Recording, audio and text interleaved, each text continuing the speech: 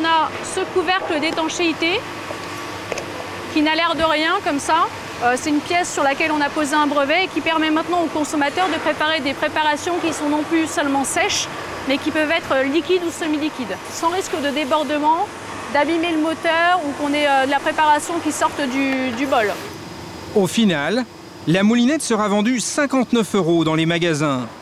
C'est 20 fois moins cher que la machine à tout faire de Kenwood.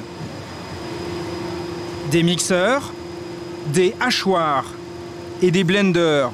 Des produits dont le prix ne dépasse jamais 100 euros.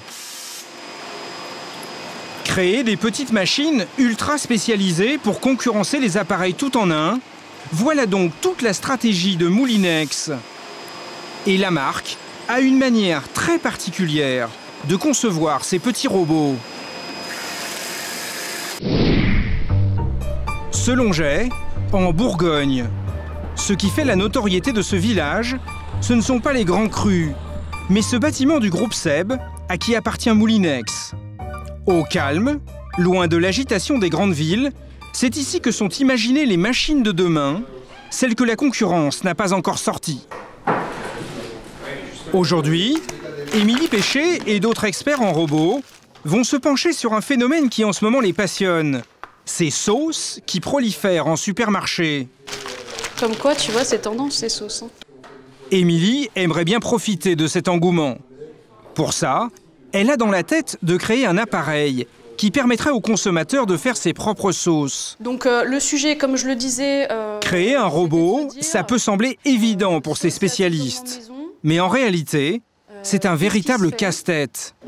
Car pour concevoir une telle machine, il faut se poser plein de questions. Et tout d'abord, savoir quelle sauce le consommateur a envie de faire par lui-même. Posons-nous les bonnes questions. Euh, qu'est-ce qu'il consomme? Qu'est-ce qu'il aimerait consommer? Qu'est-ce qu'il achète? Qu'est-ce qu'il n'achète pas? Qu'est-ce qu'il aimerait faire à la maison? Quand est-ce qu'il consomme? Mais la séance de remue-ménage ne fait que commencer. euh, Après avoir choisi les sauces, il leur faut maintenant imaginer le robot qui va les faire. Et là encore, surprise, leur questionnement paraît d'une simplicité déconcertante. Donc Bruno, on dit Pour moi, mixer. mixer, c'est avec une lame. Donc il faut une lame. Je pense qu'il en faut une. Donc il en faut une. Il faut mixer, d'accord. Après, il faut émulsionner si tu veux faire des sauces froides. Toi, t'as oublié de doser avant de mixer.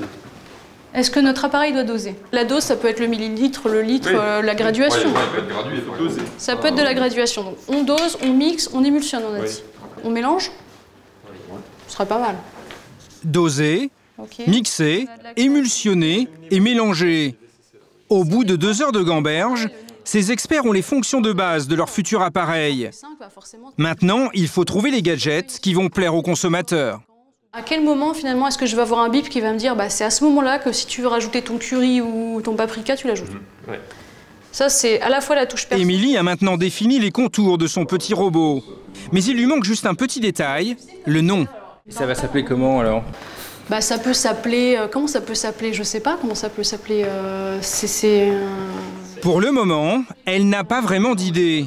Une chose est sûre, ce sera bien encore un appareil t'as pour partir à l'assaut des machines multifonctions. Quant au consommateur, il devra attendre deux ans, le temps des études et des tests, avant de le voir débarquer peut-être dans les rayons des grandes surfaces.